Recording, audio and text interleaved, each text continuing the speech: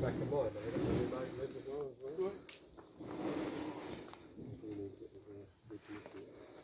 So you've got a 350? No, I've got a 750X. Right. Oh.